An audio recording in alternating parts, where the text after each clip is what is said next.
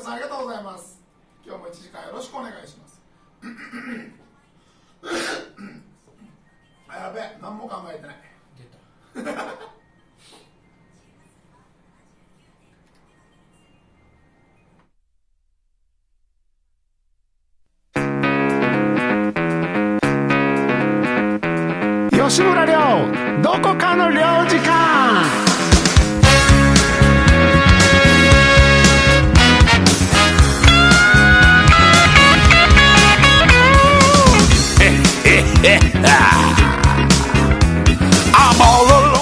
さあ皆さんこんばんは。週の真ん中水曜日夜8時からは吉村亮どこかの領事館でございます。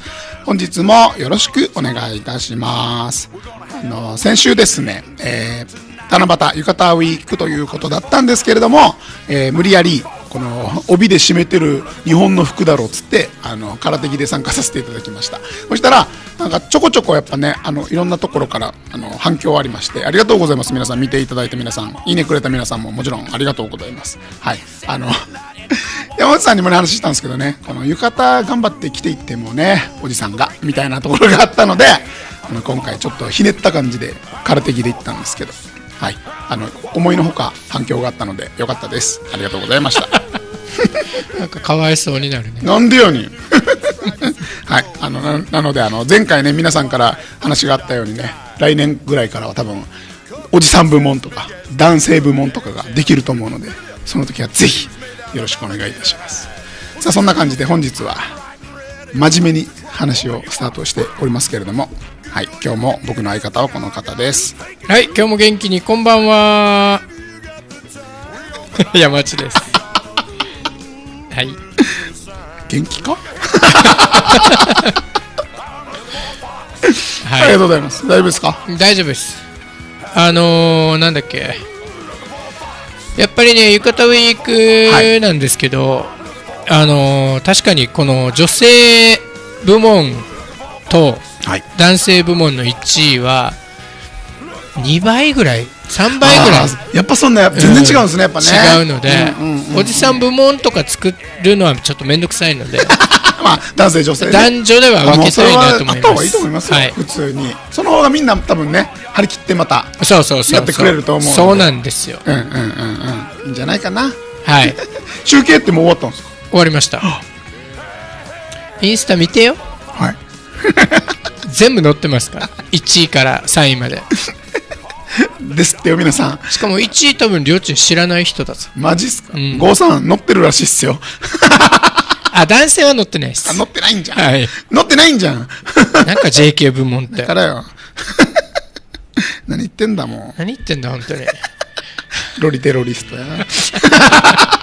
いいね。エロティルリストみたいなな さあ、そんな感じで本日も、はい、FM 技能から楽しく1時間の生放送でお届けしたいと思います。はい吉村亮どこかの領事館。この番組は、あなたのイベントを特別なものに、アブソリュート。今入れる保険あります。有限会社アシスト各社の提供と、たくさんのリスナーさんのおかげで、本日も1時間の生放送でお送りいたします。電波の方は 79.7MHz、もちろん当たってますよね。ネットはツイキャスや YouTube でご覧いただけます。はい、えっ、と、ネットだと、あの、生配信で画像も見れますので、ぜひぜひよろしくお願いいたします。また、マイチューナーラジオというアプリなら、電波と同じ音源で曲も聴くことができますので、こちらもお勧めしております。特にドライブ中の方は、ぜひぜひよろしくお願いいたします。ネットやアプリの場合は、FM 技能案を選択してお聞きください。本日もよろしくお願いいたします。さあ、えー、さらっといきましょう。今日のトークテーマ。本日のトークテーマは、Amazon 使ってる？さあ、えー皆さんご存知大好きな Amazon ネット通販ですね。Amazon でございます。今日は Amazon プライムデーの最終日。年に一度の大安売りの日の最後の日でございますよ。さあ皆さんは Amazon 使ってるんでしょうか？変なの買ったことないか？めっちゃお得なの買ったことないかな？そんな話を聞かせていただきたいと思ってますのでぜひぜひよろしくお願いいたします。さあ番組ではコメントやメールも募集しております。コメントの方はえーまっちゃんそんなこと言わん。あの コメメントの方は はい、えーツイキャス早いツイキャスアプリの方でコメントいただけるとすぐ確認できます。よろしくお願いいたします。はい。メールの方はメールアドレス797アットマーク FM ギノワンドットコム。797アットマーク FM ギノワンドットコムでお待ちしております。メールの方もよろしくお願いいたします。さあ早速えー否定的な意見もたくさん来てますので。本当ね なんで？本当に？えっ、とコメントの方を見ていきたいと思います。はい。さあ本日もあの熾烈な1位争いを余裕で買ってきました。素晴らしい。いつもありがとうございます。パパや沖縄 T シャツ屋さん。今夜も元気に。こんばんは。こんばんは。すごいよな。本当に。なんででしょうね。ね。どっかに隠しカメラあるんじゃないの？怖いな。山内さんがクリックするの見てるんじゃないの？変なことできないじゃないか。変なことすなよ。仕事場で。はいありがとうございます、はい。そして本当にコンマ1秒とかの僅差だったね今日。ババってきたんですけど、うん。お三人が。はいえー、と2番手埼玉の郷さん。9本規制まであと少し。ようさん山内さんこんばんは、はい。おじさんウェンズデイ。山内チルドレンって。ほう。チルドレンだったの？そうなの？大丈夫？今日もお願いします、はい。さあ続いてヤン吉さんも来てます。りょうちんやまぴーこんばんにゃ。こんばんにゃ。今日は気温39度。嘘でしょ。更新しました。やばいね。怖っ。そうヤンキーさんこの間なんかツイッターでつぶやいてたんですよ。なんか37度とかいったみたいなことを。うーん。39度ってさ内地で。やばいよね。ね。うんほら沖縄と違って、うん。日差しがとかじゃないじゃないじゃないじゃない。本当に温度が暑いじゃないですかそうそう。ううわ嫌だな。ほらえっとなんでしょうね。わかりやすく言うと沖縄って太陽のね日差しはもうすごい暑いんですけど日陰に入ればそれなりに涼しいし風も強いのではいはいはい。ね、風さえ吹けば涼しいしみたいな感じなんで太陽に当たったらものすごい暑いんですけど、うん。っていう感じなんですけどね内地ってやっぱね本土の方は分かると思うんですけど、ん。日差し云々じゃなくて、暑いっすもんねこのもうさの温度が。あの今日新聞に出てたんですけど LINE の。もう避暑地だって沖縄が。もう認めてる、新聞も。えーやば。うん。それぐらいっすよ。だって39度だもん。ね。うん。なんだろうね。このおじさんが若い頃はっていう話にまたなっちゃいますけどなんか変わってますよねだいぶね。だいぶ変わった。僕たちが思ってたやつと。怖いな。あさあこの今までねパパヤさんゴーさん、えーヤンキーさんが本当にコンマ01秒ぐらいの 争いで、はい。入ってきてくれたんですけどね、はいえー、とゴーさんはクーって悔しがってますけれどもその後ろに、えー沖縄大好きさん来てます。こんばんは。こんばんは。今日もありがとうございます。多分さ沖縄大好きさんも狙ってたんじゃないか。沖縄大好きさんだってシュターとかつけるじゃん。そうそうそうそうねそうね、今日こんばんはって一言来てるからねこんばんは打ってる間にもパパッと入ってきたもう読まれてるよ。大好きさん。はい。でおタミーさん来てます。りょうちん山内さんこんばんは。こんばんは。ありがとうございます。まあタミーさんはね、あの生活圏が近いっぽいので、そうね。いつバレるかドキドキですけどね。別にバレてもいいじゃん。さあ MJ さんも来てます。お MJ さんも今日早い。うん。えーキングりょうちゃん、ボラギノール山内氏こんばんは。うい好きな女性のタイプはミニスカートのよく似合う可愛い女子高生の MJ です。あのさもう戦後すぐ生まれなんだからさ 戦後すぐ生まれで女子高生狙ったらちょっとやばいっす。やばいよねやべえやつですね。うんまあでもそのまんま突き進んでほしいね MJ さんはくそげえさあ、えー、重鎮カープボーイさんも来てます。もう重鎮なんだ。えー吉村総領事山内大使美人秘書まなみちゃん皆さんこんばんは。こんばんは。誰？あこんばんワンワンワンワワンワンワワンワンワンワンラインライン。そろそろ。雨の一つでも打ってもらわないと。農家の人たちは大変でしょうね、ダムの水は大丈夫そうだけど。まだ。して吉村亮に。飛天三剣流九頭流戦。合ってます？今初初見で読んだんですけど合ってます？あ分 からんねこれなんだろう？すいません。あの、はい。カウボーイさん、あの、あ合ってるかどうかだけください。鉄拳かな？鉄拳の技じゃないかいや、違うでしょ。違うかなんか昔の時代劇とかじゃないの？わかんないけど、こんな難しい名前やらんでしょ、鉄拳とかで。ああれじゃない？何？なんだった？漫画でさほらノーヒント。ホラーはノーヒントですよ。空手着でやるやつ。6つ。え、むっつ。シュシュラノモン。知らぬもんとか知らぬ時のやつじゃない？僕ね飛天、三剣流ってついてる時点で、剣じゃん？これ。ああなるほど。なるほど。ははい。いそんな感じでございますよ。うん。はい。えーっと、えーこの後ね、先ほど話したこの、浴衣フェア、フェアちゃうわ、浴衣ウィークのお話でね、はい。パパヤさんは投げやり感埼玉の郷さん、男性の1位はどうなった？MJ さんは JK 部門もよろしく。JK いないでしょ？いないでしょういないでしょ マジでよ。ういないよさあ、エマちゃんも来てます。こんばんは。こんばんはありがとうございます。ロビンソワ枠。ロビンソワ枠いないなロビンソワ枠ってロビンソワしか入れない。いないなそういえばさあ、ロ林さんも来てますビンソワ枠入ってよ僕っすか、うんえ、あのー、女装しハロウィンじゃない時にもやらんといけない。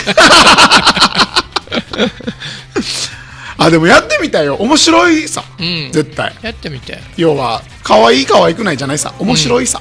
うん汚いだったら嫌だね。汚いよ面白いだったらいいけど。面白い汚方が嫌だねになるにはまた才能だよねそっか。え、髭を脱毛してからだな、まずな。いやーそれでも汚い 汚いって言うな。吉田さん、こんばんちは。こんばんちは はい。えーと、カーボーイさん、そっちの音少しちっちゃくしてもらえるとありがたい。少し大きい気がするって。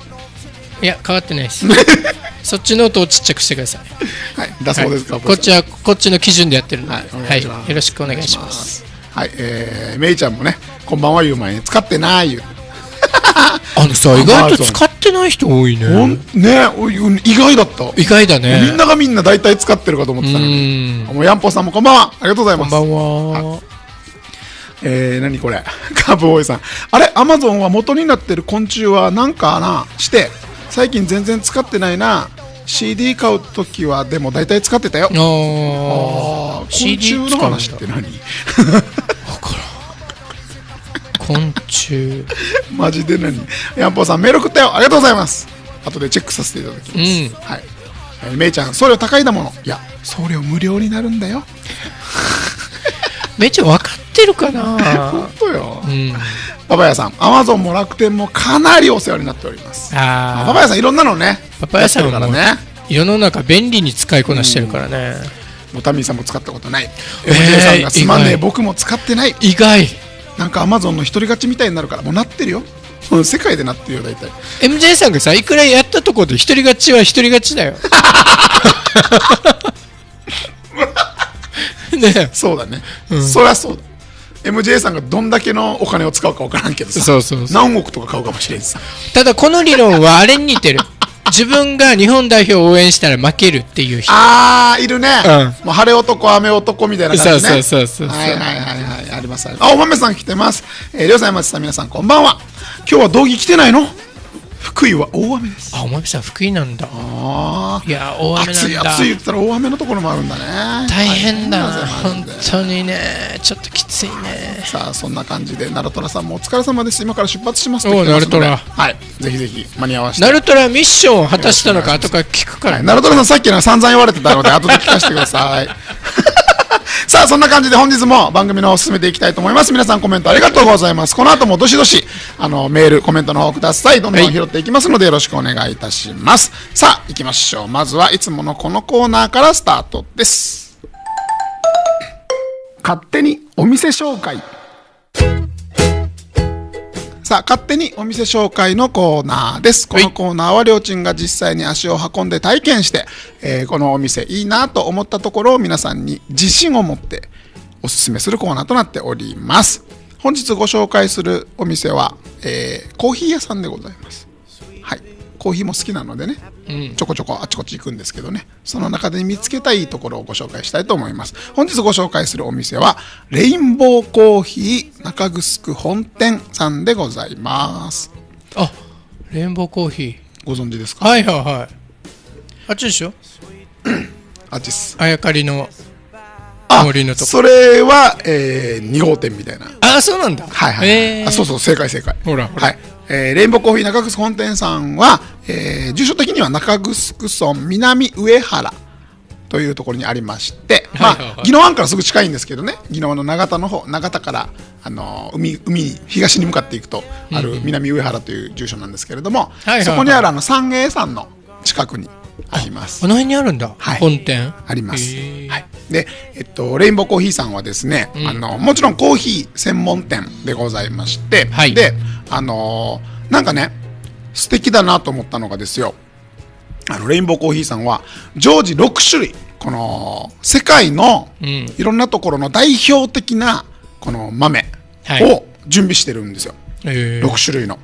で、えっと、なんだっけな、ブラジルとかね、うんなんだっけ、待ってよ、ちょっと待ってよ、どこ行った？えー、そうでしょ？ブラジルとコロンビア、えーグアテマラ、エチオピア、タンザニア、インドネシアっていうところの、うん。この世界中いろんなコーヒーあるんですけれども、この個性が違うやつを6種類えー。厳選してうん。お待ちしてるんですよ。で、えっと、自家焙煎しておりまして、要は豆を輸入してお店で焙煎してって、うん。で、焙煎してからなんかね、賞味期限的に1ヶ月が限界らしいんですよ。えー。豆の状態で。うん。なので焙煎して1ヶ月以内で使うっていうのをお店でやってらして。でさらに言うとその焙煎した豆を注文してからひいてコーヒー作って入れてくれるんですよ、はいはい、なので新鮮な美味しいコーヒーが飲める。でさらには、えっと、ちょっとこだわりがありましてレインボーコーヒーさん、はい。この100%の、えーストレート豆を使ってるっていう話なんですよ。ストレート豆ってなんじゃって思う僕も思ったんですけど。今僕思ってます。はい。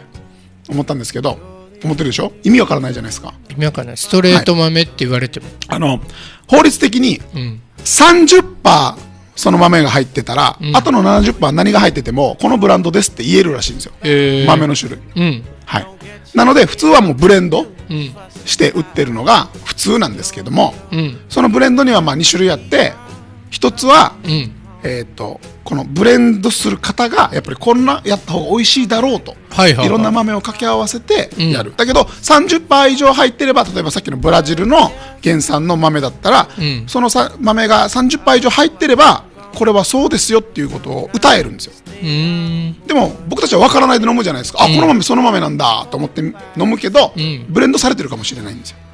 あまあどっちでもいいけどね。でもレインボーコーヒーさんは、ん。この自分たちでブレンドもできるけどその豆の良さとかは人それぞれだから、うん。自分たちが美味しいと思ってブレンドしたものでも、ん。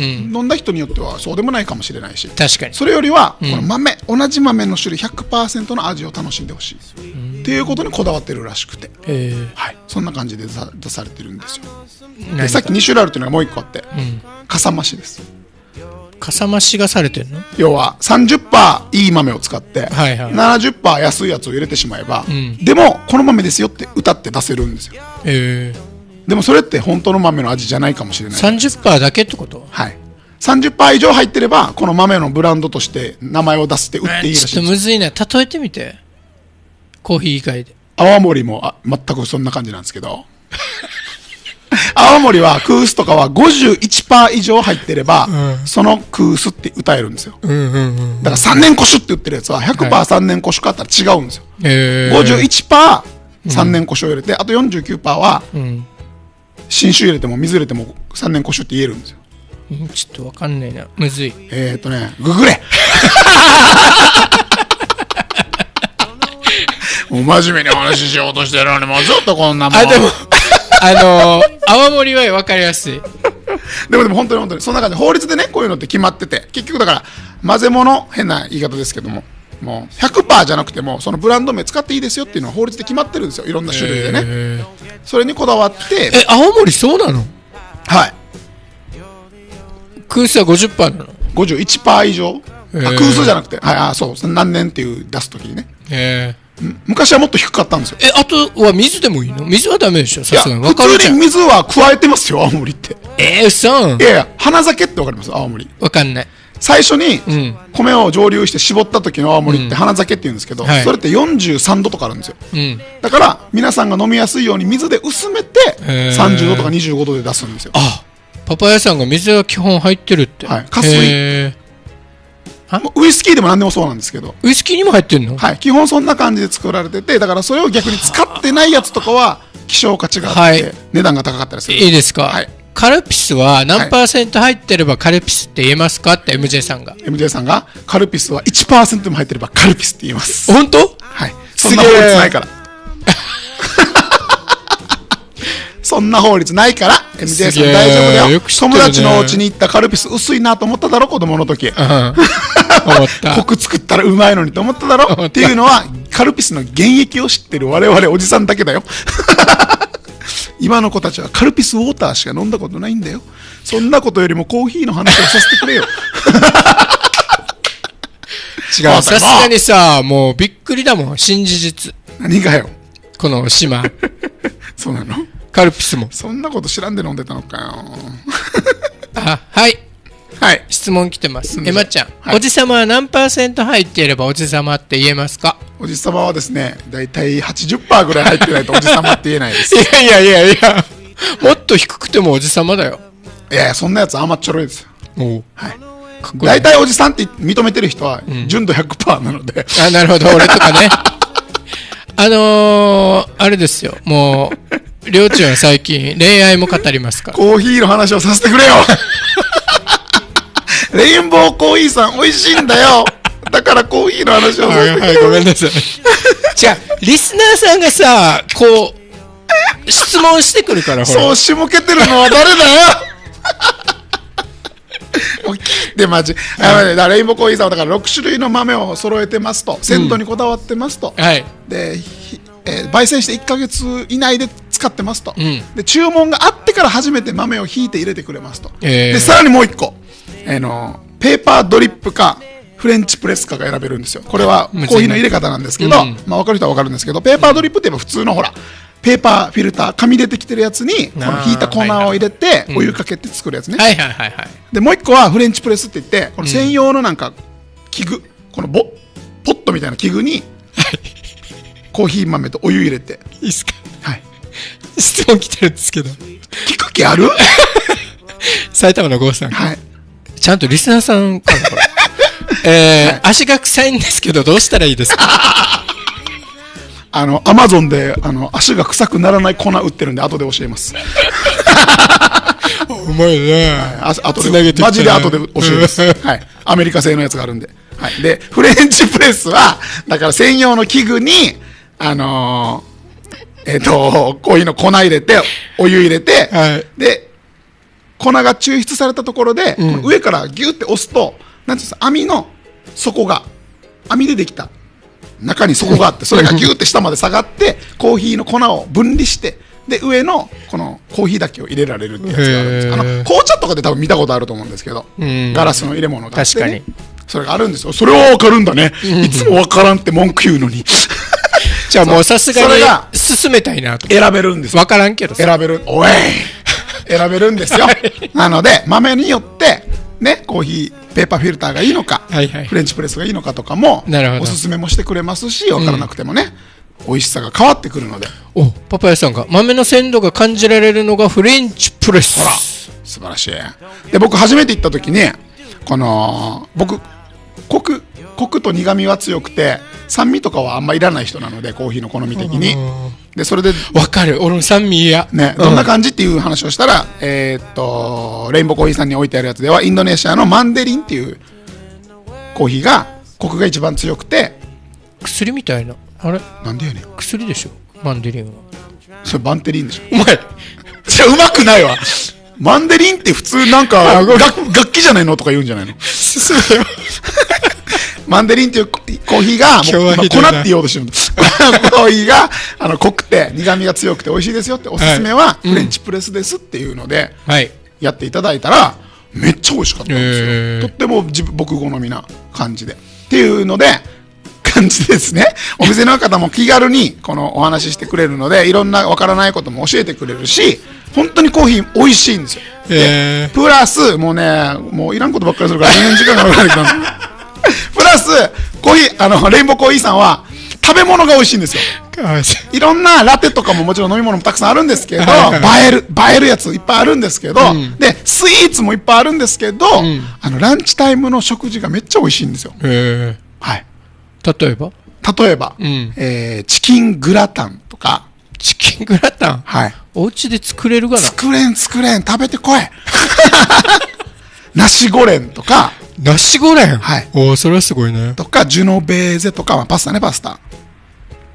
で、カフェ親子っていうメニュー頼んだら、うん。この、カフェ親子？はい、あのー、照り焼きチキンが、うん。あの、ご飯に乗ってて、で、目玉焼きと、で、タコミートみたいなのと、レタスと、まあワンプレートですよ、いろんなのが、盛りだくさんのやつがあったりとか。うん。で、大体みんな、この今言ったやつとか、みんな他の、あの、プレートに、この美味しい、えーポタージュスープとサラダとかがついてくるんですよ。えこのね、ご飯が美味しくて。でも、ランチタイムの時しかお食事メニュー出てこないんですよ。ー、えはい。営業時間は、えっ、と、午前の10時から夜の9時までとか、ー、うんえー土日祝日は6時までとかあるんですけど、ランチタイムって11時から3時って決まってて、うーんこの時間にしか出てこないんですよ。飯は？はい。あーまあランチタイムだからねと寂しいんですけど、んでも、3時過ぎぐらいに行ったら、ご飯食べたかったのになっつったら、今ならできますよって言ってくれます。えー、あ割と聞いてくれるんだ。はいはい、えで、あと、モーニングもあって、あうまそう。カフェなんですけど、モーニングもお得な、なんかピザトーストとかのセットがあるんですよ。これもでもモーニングなので、朝の時間に行かないとうん。出てこないんですけど、あうまそうじゃないこれも美味しいので、えー、ぜひあのコーヒーはもちろん美味しいんですけど、この食べ物目当てにもぜひ行ってほしいなとあこれうまそうだ。思います。はい、えー、レインボーコーヒーさんはですね、中城村南上原にあります。えー、電話番号の方が098-895-2141。098-895-2141で営業時間の方が、えー火曜日から金曜日が午前10時から夜の9時まで。で土日祝祭日は午前10時から夕方6時までとなっております。定休日は月曜日です、えー駐車場も店舗前と,、えーと2軒隣にも駐車場がありますのでこちらに止められます。あと電源とか無料 w i f i もあるのであのまったりすることが全然できます。あの落ち着いた雰囲気の店内であのーソファー席とかもあるのでね。猫に食べさせせてくれるコーヒーもあるの？なんて？猫に食べさせてくれるコーヒーもあるの、まずコーヒーは飲み物っていうことを気づいてから質問してほしいけどな。違う来てるわけ、えーだから質問でしょ？ほらほら。しかもお豆さんだからこれマジだはずよえー猫に食べさせて作るコーヒーもあるって聞いたのですが、言い方間違ってるじゃんかあふんからねよ。そう、これは、あじゃの、こ猫世界一高いコーヒー豆のことですね。わかるはい。これは食べさせるというか、野生のやつが食べて、うんちして発酵したやつこれ美味しいの？みたいですね。僕は飲んだことないんでさっぱりわかりませんけど。はい、えーそんな感じで QR コード決済も可能ですので PayPay で気軽に払えます。さあ本日ご紹介したお店はコーヒーは6種類から選べてすごく美味しいんですけどさらにスイーツも食べ物も美味しいカフェコーヒー専門店レインボーコーヒー中城本店さんでございました。Oh, I know I'm gonna crumble, I'm trying to stay out.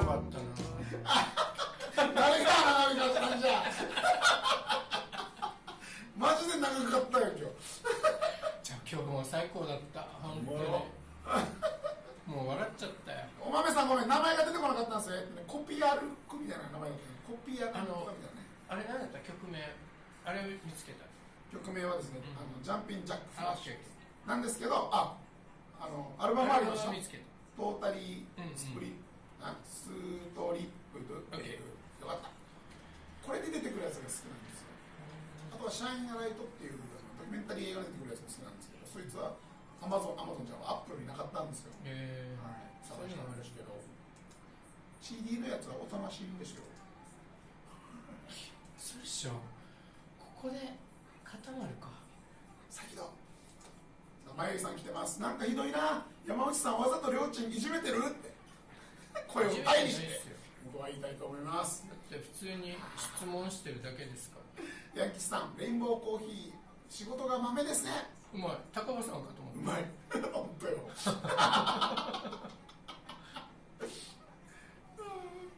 いいねさもうもっと本当は拾いたいコメントいっぱいあったんだよ。俺気使って拾ってないんだからね。パパヤさん好み一緒。いつも行きつけのコーヒー屋でブレンドしてもらってる。